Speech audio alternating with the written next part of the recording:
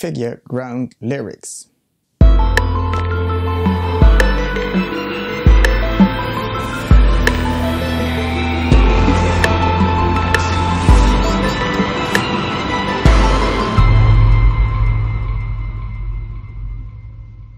So this episode is about figure ground, which is basically the distinction between an object and its background. In art, this is also called positive space and negative space, in which case the positive space is the object on which your attention is focused, and the negative space is kind of the space around the object or the background.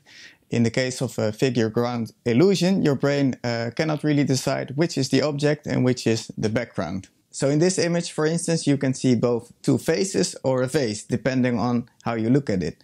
And M.C. Escher used this kind of illusion a lot, and oftentimes you can see two different shapes, but you cannot see them both at the same time. You have to kind of switch back and forth to see the one or see the other. So for this song, I decided to write a lyric based on the figure ground principle. So the idea was to have a melody with two layers, uh, upper notes and lower notes. And if you only listen to the higher notes, for instance, and that's the object of your attention, you will hear a certain lyric, and the same goes for the lower notes. If you would only listen to the low notes in the melody, you could also hear a distinct lyric. And at the same time, I also want to have those both two layers work together. So if you listen to all the notes of the melody, you can also hear a lyric that works. So let me give you an example of how this works. For instance, I start with writing just one sentence uh, in this case the big blue fish waves.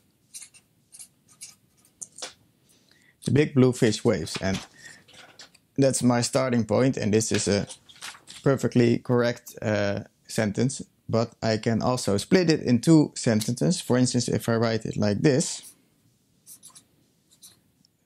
I write the same words, but I kind of alternate between high and low. So now I have two sentences. Two very short sentences. Don't know if you can see it. So now we have big fish and the blue waves.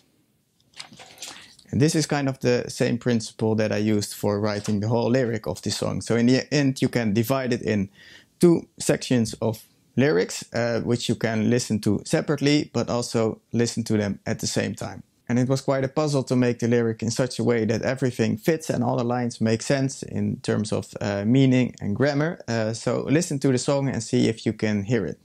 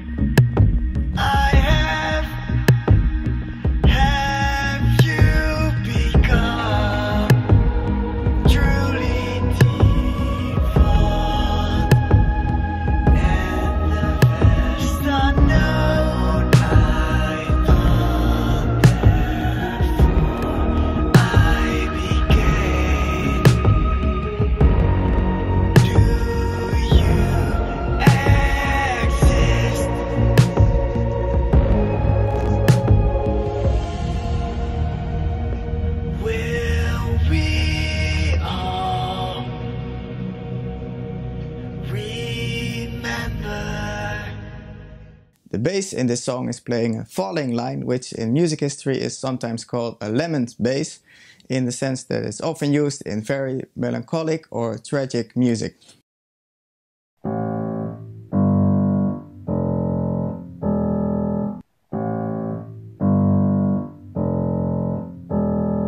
So the title of this song is based on The Hitchhiker's Guide to the Galaxy by Douglas Adams. And in this book, there's an alien race, uh, and they build a kind of supercomputer to calculate the ultimate answer to life, the universe, and everything. And after years and years of calculating, it's finally announced that the supercomputer has its big answer. And there's a big crowd uh, gathering to see uh, what the answer is, and turns out to be 42. So everybody is puzzled, and then the question arises well, if that's the ultimate answer, then what was the ultimate question? uh, in the end, they have to build a new supercomputer to calculate the ultimate question of life, the universe, and everything. Uh, and this su supercomputer turns out to be planet Earth and the human race. So those are great books, and I recommend uh, you read them. Anyway, the lyric of this song is presented as a kind of weird dialogue between a human being and this kind of supercomputer. And who's to say if we were to have a conversation with this kind of computer that it would be able to understand us and our consciousness and our concepts. And in this particular dialogue, there are quite a few uh, very revealing misunderstandings. For my patrons, I always make a kind of uh, lyric art to go with every song. And for this particular song, I had a kind of graphic idea in mind, uh, which I'll make a drawing of. And the idea was to kind of represent visually the idea of the lyrics. There it is, and you have kind of two objects uh, which together form a new object. In this case, you have a face looking from the left to the right, and there's also a face looking from the right to the left. And to, together they form a new face which is looking straight at you. So I thought that was nice, and then I suddenly uh, was reminded of this old logo from the old Macintosh computer. So it turns out I'm not so original,